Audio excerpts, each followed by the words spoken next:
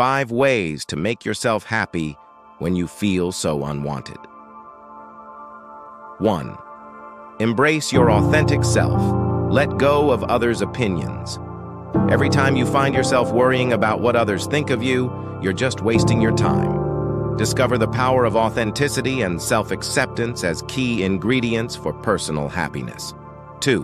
Prioritize self-care, knowing when to let go. Sometimes you need to give up on people, not because you don't care, but because they don't. Explore the importance of setting boundaries and prioritizing your own well-being for a happier, more fulfilling life. 3. The Balancing Act Strength versus Bravery. You can't always be strong, but you should always be brave. Uncover the distinction between strength and bravery and learn how embracing both qualities can contribute to your overall happiness. 4. Reciprocity in relationships, treating others how you deserve. No matter how good of a heart you have, eventually you've got to start treating people how they've treated you.